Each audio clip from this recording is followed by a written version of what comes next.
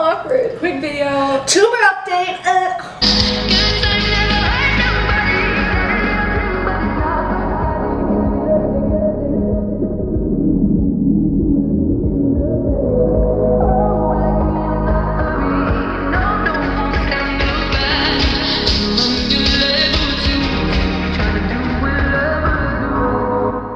Hey, what's up, guys? I'm Paige, I'm Holly. and today is just a quick update video. that is so uncomfortably awkward. Way to sell it. and today. Tumor video, yeah. Okay, so tell the people what has happened since the last video that we shot. Stop. Okay, okay. First of all, actually, before any of that, we want to apologize for not uploading sooner. Holly went away for a few days. This on me. so it's completely her fault.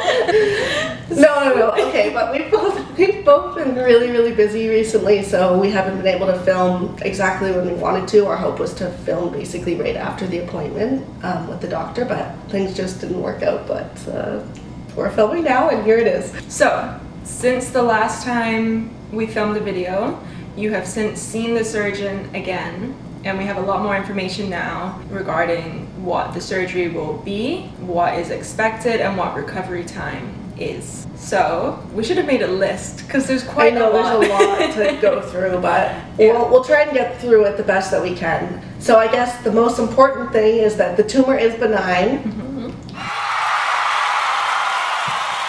Yay!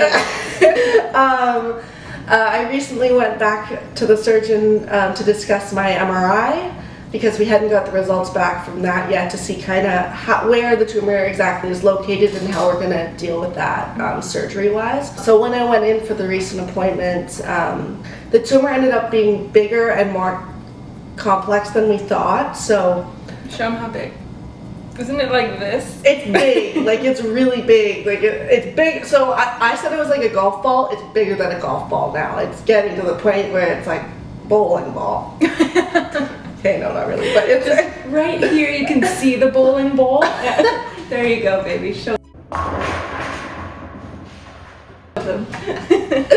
no. Okay, so the MRI came back and it's bigger than we originally thought. So it means they're gonna have to approach the surgery a different way. Originally, we thought they were just gonna have to cut down my neck and be able to remove the tumor, um, just that way, easy and simple. Uh, but apparently, they wanted to make it a little bit tougher, and now uh, they're pretty sure they're gonna have to break my jaw and open it to be able to get to the tumor. So it's going to be more intense of a procedure than we thought and definitely a, a tougher recovery. Um, but the important thing is that the tumor is benign. The surgeon said that um, the tumor that Paige has is extremely rare, but the the procedure to get it out is routine.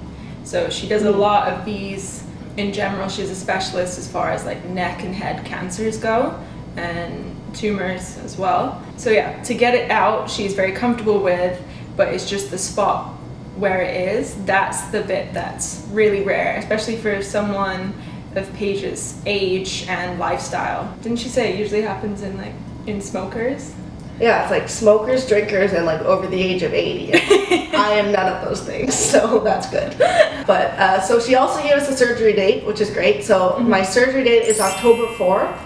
Um, and after that, I'm going to have quite a bit of a recovery. So we're expected, I'm expected to be off school for about three to four weeks, just depending on how the healing process goes. Could be longer, could be shorter, but that's kind of the range that they're giving us right now. Because of that, we also aren't going to be able to film really during that whole recovery time. So our goal right now is we'd like to try and build up a few videos for you guys Yeah, so that we can yeah pre- pre-record them and um, post them kind of throughout the healing process so that you guys still get some content and we still get to make some stuff for you guys. Yes. Recovery is going to be It's gonna be tough. Re- yeah, recovery is going to be tough. Uh, I'm going to be on a lot of drugs. I'm going to be out of it, I think, especially the first week. So I've been told it's uh, going to be just a pretty quick week for me because I'm not going to remember a whole lot. I guess the drugs that I'm going to be on are pretty intense. So Yeah, she said you'll be waking up to eat sleep, Yeah. bathroom,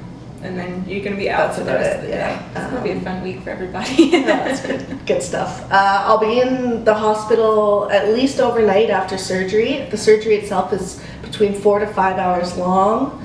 I could have to stay a couple extra days just depending on how everything's looking, everything's healing up. After surgery, I'm gonna have to deal with a few complications because they're gonna have to cut my jaw. I have a nerve that, that runs um, along my jaw uh, that goes to my lower lip. And uh, once they, they cut through my jaw there, they're also cutting the nerve, which means that pretty much after surgery, I'm gonna kind of look a bit funny because I'm not going to have any function out of my lower lip. Uh, she thinks for about three to six months until I can kind of regain that. Is that the one where when you smile, it shows? Yeah, so it'd be like, that's kind of what I'm to look like for a while. One so more time.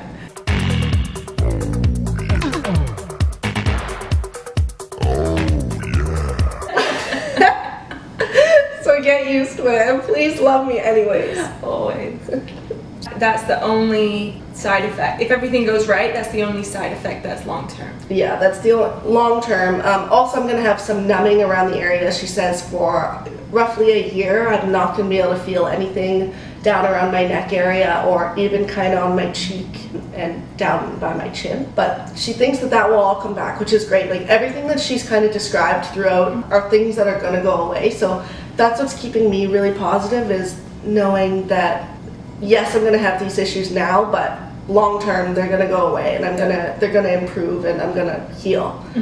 Of course, uh, with the complex surgery, there are also chances of complications. So some of that could be permanent nerve damage. I could have uh, half facial paralysis on this side of my face that's permanent. Um, so that would be like not my eye not being able to work, like nothing basically on this entire side. The chances of this are really, really small, like she told us, because I was really scared right away. But she said that pretty much the chance of all of these really bad things happening are about one percent chance. So Yeah, it's things that they have to tell you yeah, just in case. yeah. I think we needed a little time before we posted this anyway, just to process all the information because we did receive quite a bit of information just within the past week or so. So Yeah. we just wanted to make sure when we were ready to update you guys, we actually had processed it all. Oh, the last thing I want to, the last thing I want to say is thank you all very, very much. Like, Yes. Thank you guys so much for all of the just the sweetest messages and comments mm-hmm. and inboxes. I can't believe the response to that video that we got. It was just everybody was so nice and so caring and it just it meant so so much to it me. meant a So lot to both of us. Thank you so much. Thank you guys. But yeah, we just kind of wanted to make this video. I know we've been receiving tons of questions about when you're going to post an update video. So yeah, I just wanted to let you guys know what's going on. We will for sure keep you guys posted mm-hmm. as things progress and if anything changes. Yeah, I'll keep people updated while you're got your jaw wired shut. Yeah. Straight- half face slanted. No, sorry. You're so pretty. Anyways, guys, thank you guys for watching and we will see you guys next video. Okay, bye guys. Bye.